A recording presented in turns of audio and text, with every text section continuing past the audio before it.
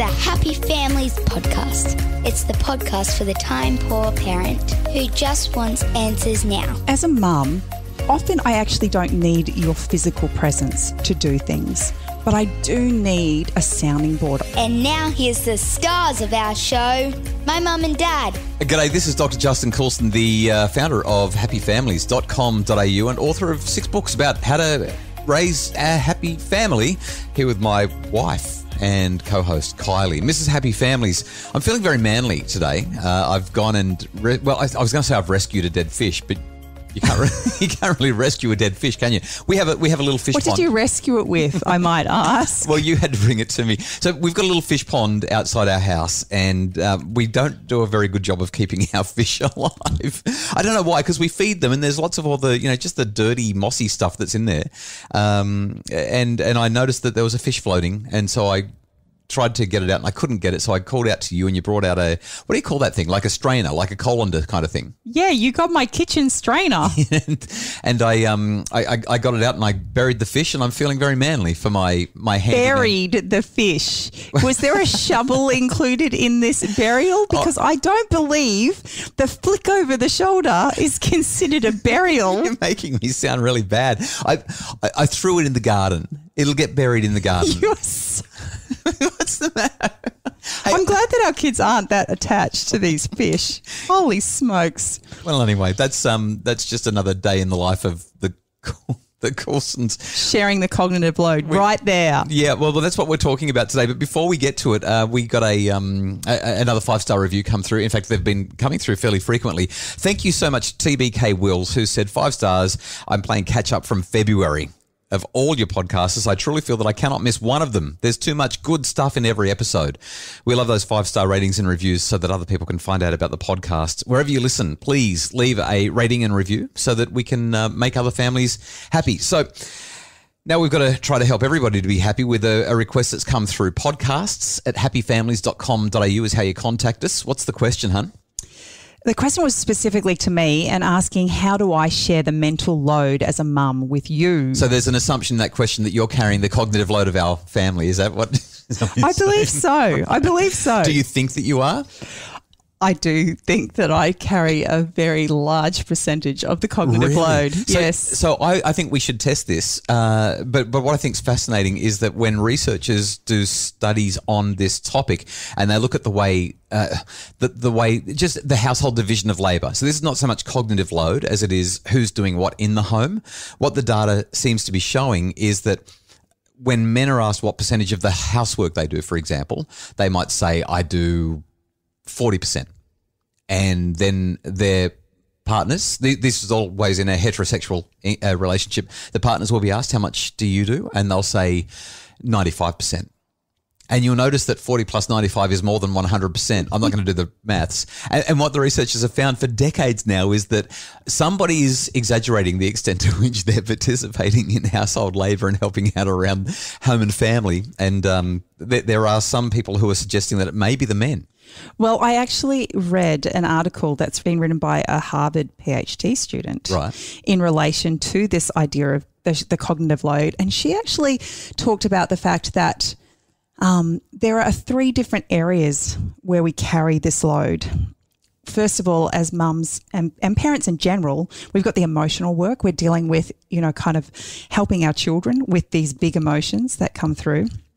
We're also doing the admin work, and I would suggest that that's pretty much where most of our energy is spent. So that's that's library day and sports day and swimming lessons and Yeah, the running of the house, whose you know. birthdays when and or, organising parties or taking kids places that sort of thing. That's right. Yep. And then there's project work. So, on top of all of the daily admin stuff that you need to just get through each day, then we've got birthday parties that we've got to plan and we've got to, you know, organize birthday presents for our extended family or, you know, running the Christmas family dinner party or whatever. Making sure Secret Santas are out uh, by late October.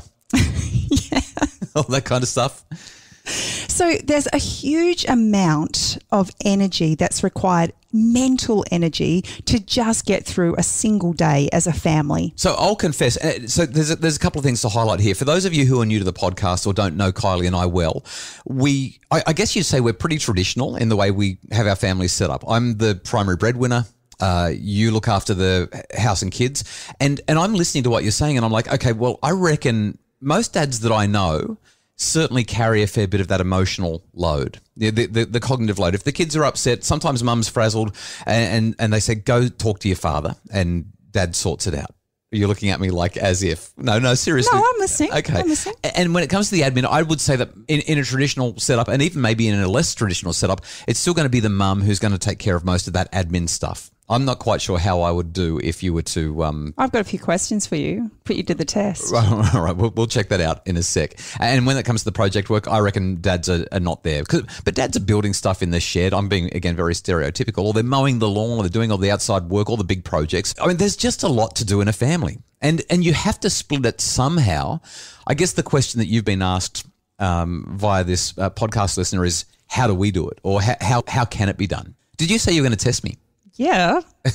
Let's find out how I go. I reckon I'm going to go great.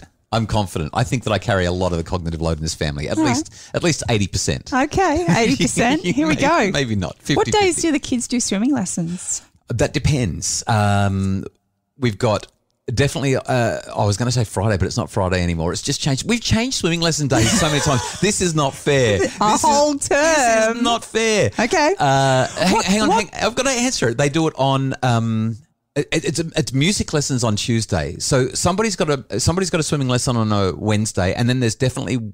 Uh, sorry, a Monday, and then there's a Wednesday. There's definitely two on Wednesday, and then there's two on Friday as well. Well, I- you might have got the days right, but I'm a little bit nervous about who's going to show up to swimming lessons by the. Hey, hey, can I just say, you sent me to swimming lessons with children a couple of weeks ago, and I was there on time. In fact, I was there two hours early. That's how on time I was because you got the time wrong. So I just, I'm just putting it out there that I'm doing okay. What grade is baby number five in? She's in grade six. And what's her teacher's name? I have no idea. How are we celebrating Miss Six's birthday this year? Next question. Who cleans the toilets? Uh, that's a shared responsibility. I definitely do it sometimes. Uh, and we have other children who also have a responsibility to do it. Uh, and I'm going to guess that you do it more than anyone. Where are the cleaning products kept? We keep some cleaning products in various bathrooms. We also have some under the kitchen sink and we have some in the laundry How often do the bed sheets get changed? weekly. Oh, look, you're, you're making up for it now. What day do the bins go out, Dr. Oh. I know this because anybody who's listened to the podcast over the last month knows that I've chased the bin truck down the street Thursday mornings twice this month, running down the street with the bins behind me. What's for dinner tonight? Uh, tonight, um, Thursday night, it's Throwback Thursday. Uh, and we have a we, we have a meal roster, and I'm sure that if I was to look at the roster, I'd find out what you'll be cooking for us tonight. So I guess you also know whether or not we have the ingredients we need for dinner tonight. No, because I'm in the office and I'm working. But uh, have you made your point? I've made my point. I think I've done a very good job. But it works because we're in a partnership, right? We've got a happy family. Everything's okay. Yes. We're all good. Okay. We're all good, honey. What was the name of the person who asked this question? Deb Ann asked this question, Deb Ann, I'm never talking to you again. but we have numerous people that have responded as a result of her question who all want to know the same thing. All right, so what we're going to do is going to take a quick break. And when we come back, let's talk about how we can manage the load and how we can share it. It's the Happy Families Podcast. Are screens creating tension at home? Tweens, Teens and Screens is a webinar to guide families to healthy, safe super screen solutions. Buy it today at happyfamilies.com.au slash shop. It's the Happy Families podcast, the podcast for the time poor parent who just wants answers now. And today we are having lots of fun with You're, this you're having fun, making me look bad. with this idea of how to share the cognitive load. Mm. Should I ask you some questions about how I run my office, how I look after the staff, what, what it costs to you know ru- run the business? I did have a question that I thought you you might enjoy answering. Oh, did I cut you off before the end of all the questions? No. What was the I was just going to ask if there's enough fuel in the car. Oh yeah. So so when was the last time you actually looked? I don't know. Seriously, the number of times that I get in the car and look at the fuel gauge and it's flashing, I'm like, how how many Ks have you done on flash? And Kylie's like, I don't know, I don't know. I've just been driving. Justin's the only one that fills up the car. Carrying the, I'm carrying the cognitive load of the fuel. Um, how do we how do we manage the load? The que- the question that you were specifically asked by Deb Ann, who I'm still not talking to, was How do we share it? How does it work for us? Okay, so what would you what would you say is uh, something that we do that really works well? So I've got a couple of things. You had your webinar on Monday night talking about parenting on the same page, and I think that that is paramount to us being able to share the cognitive load. Yeah, whether there's conflict or not, just just parenting requires us, and running a family requires us to be aligned and to be unified, and and uh, what's the word to, to correlate and coordinate things. Yeah. And as a mum, often I actually don't need your physical presence to do things, but I do need a sounding board. I do need someone who's invested in what's going on in my world or our family's world to be able to kind of talk through the process.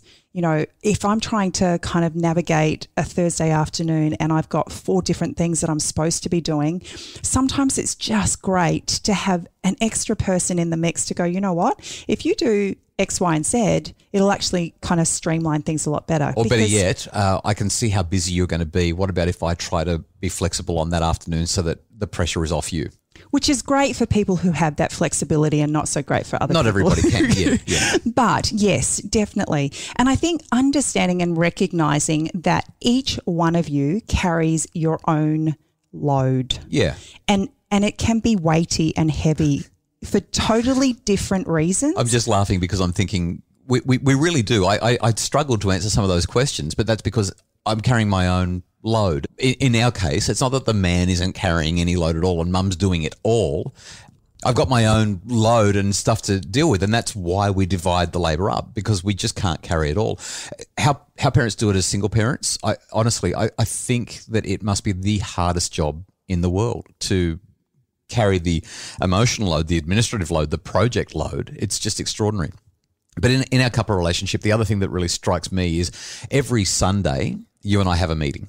We send the kids off to their rooms. They can read, they can draw, they can color in, they can do whatever it is that they want to do. And we have about a probably an hour long coordination meeting. And we answer three questions. Number one, let's have a look at the week just gone. What went well? Number two, what didn't go so well? And number three, what do you want to focus on this week? And just doing that helps us to get alignment. And it means that we're carrying the load together because we're looking at how things are working out, what needs to be improved, and what we can do together to fix that. Yeah, and I think as we go through that process, there's a recognition that, okay, this is an area that I can step up in, or this is an area where I can step in.